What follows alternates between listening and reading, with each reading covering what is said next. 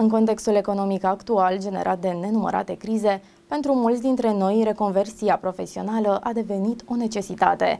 La asta s-au gândit și cei care au înființat la Constanța Academia de Consiliere și Pregătire Profesională pentru surse regenerabile de energie.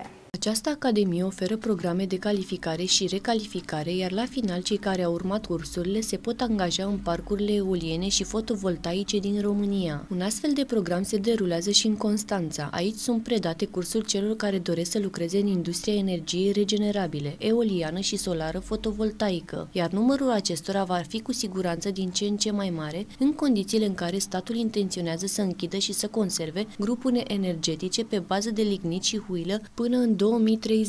Pe perioada pregătirii, cursanții au inclusiv lecții de salvare la înălțime. În septembrie putem trage linie să spunem că 800 de angajați din alte industrie au fost convertiți și pregătiți pentru zona de surse regenerabile de energie eoliană și fotovoltaic, urmând ca centrele noastre de pregătire din toată țara, Arad, Petroșan, Târgu Jiu și Constanța, să pregătească minim 2000 de oameni pe an pentru a asigura necesarul companiilor care lucrează, care ne sună în continuu și doresc angajați în această industrie. Pune Sebastian Enache, manager proiect. Pentru cei care urmează cursurile de reconversie profesională din cadrul Academiei, găsirea unui loc de muncă apoi în domeniul surselor de energie regenerabilă va fi mult mai facil. Județul Constanța se clasează pe primul loc în ceea ce privește proiectele de energie regenerabilă și deține 80% din producția eoliană la nivel național. În Dobrogea, la Cojalac, se află și cel mai mare parc eolian de uscat din Europa.